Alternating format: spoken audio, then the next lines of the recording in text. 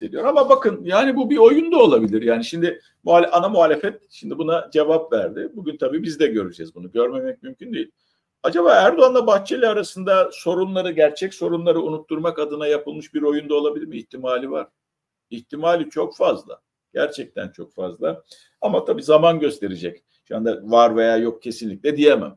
Belki gerçekten kırılma noktası. Belki gerçekten onlar da ne yaptığını farkında değil aslında. Bu kırılma noktalarını onlar da yaşıyorlar ama daha sonra tekrar birleşip bir şey yokmuş gibi davranıyorlar. Yani biz de bu yani bu öküz altında buzağı arıyoruz veya işte küçücük o saman ateşi acaba ne anlama geliyor onu anlamaya çalışıyoruz. Yaptıkları bu.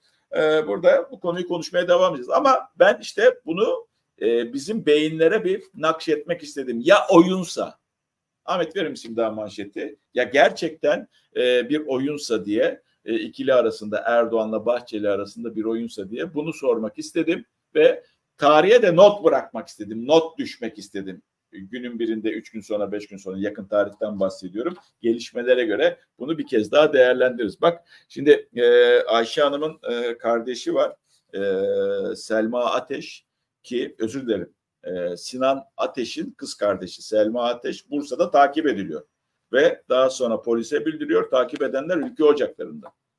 Yani eğer size başka uç bir şey söyleyeyim mi? Bambaşka uç bir şey. Bir senaryodan bahsedeyim mi? Şimdi bir, dosya rafa kalkar.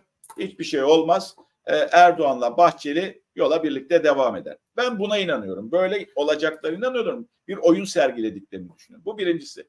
Benim düşüncem. İkincisi Erdoğan vicdana gelir. Dosyayı Adalet Bakanı'na verir. Adalet Bakanı kimlerin üstüne gidilmesi gerekiyorsa MHP'de gider. Ardından MHP ile AKP işleri bozulur. Erdoğan da zaten aslında e, er, e, şeyi Devlet Bahçeli'yi çok seviyor denemez. Yani elinde fırsat olsa veya yürüyebilecek arkadaş olsa anında bırakacak. Ama şu anda yok. Ha ipler kopar. Ondan sonra iktidar MHP'deki ülke ocaklarına öyle bir operasyon çeker ki bütün ülke ocaklarını her gün ülke ocaklarından alınanları, gözaltına alınanları görürüz. Ne dosyalar açılır o zaman biliyor musunuz? Al sana uç senaryo. Olur mu? Ahmet olur mu böyle bir şey? İhtimali var mı? Var. Evet. Aynen öyle.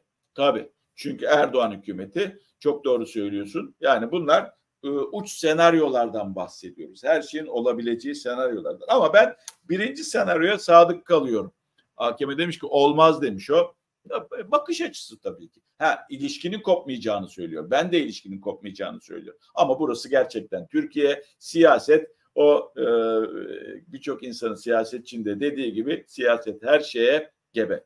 Peki e, geldik ya oyunsadan çıktık.